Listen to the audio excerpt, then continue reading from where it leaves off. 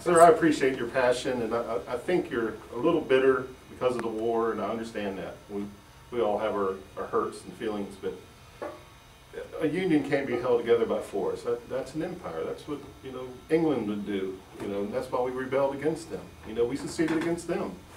Because, because our rights weren't recognized. That's the same thing that happened, that, that the South also did. You may agree or not agree with them, but that's what happened, and I, I really don't think, you know, you should try this man. Sir, That's what it closure, closure will only come for the people of the North.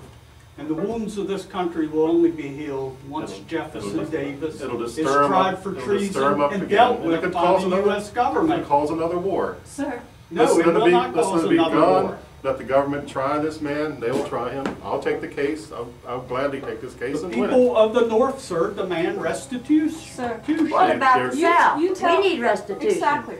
You tell, you tell us, us women that were in the home front, you tell us when our men fought for constitutional rights, were killed by the hundreds, when there were just years of Madam, women wearing black. They shouldn't have followed I'm a so sorry. rebellious You are quite wrong. They We should will have not not. followed government. a You are false going to make us even madder by your dictatorship that ruled here. No. I really don't care. The man committed treason, and the man will be tried Well, what for you're saying is treason. treasonous to me. And I will win.